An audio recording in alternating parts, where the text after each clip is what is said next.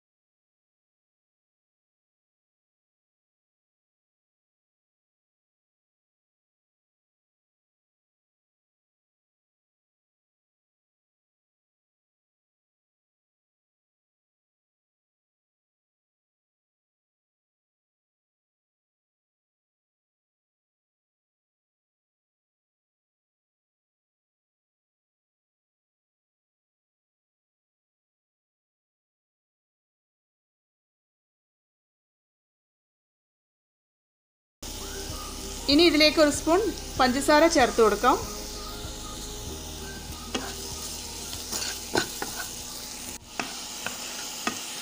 Pineapple almost നല്ല colour change ആയി വന്നിട്ടുണ്ട്. ഇനി അതിലോട്ട് ഒരു ടു ആൻഡ് ഹാഫ് കപ്പ് വെള്ളം ഒഴിച്ചു കൊടുക്കാം. രണ്ടര കപ്പ് വെള്ളമാണ് ഒഴിക്കുന്നത്. ഒരു കപ്പ് റവയാണ് എടുത്തത്. അതിനൊരു രണ്ടര കപ്പും വെള്ളം മതിയാകും.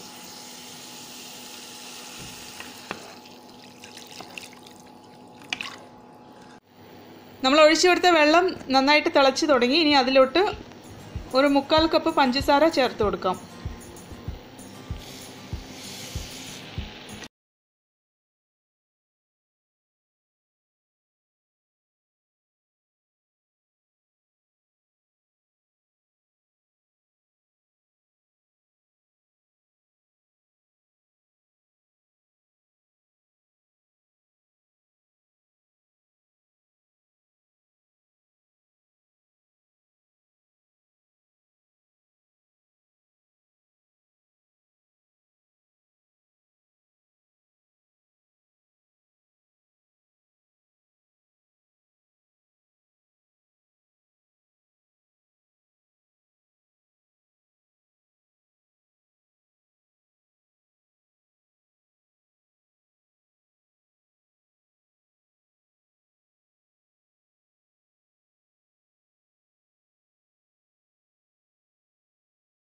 ഇവിടെ റെഡി ആയിരിക്കുകയാണ് പൈനാപ്പിളിന്റെ നല്ലൊരു ഫ്ലേവറൊക്കെ ഉണ്ട് ഇതിന്. ഇതുപോലെ നമുക്ക് മാംഗോ വെച്ചിട്ടും വേറെ ഏത് ഫ്രൂട്ട് വേണമെങ്കിലും വെച്ച് നമുക്ക് ഇതുപോലെ ട്രൈ ചെയ്യാവുന്നതാണ്.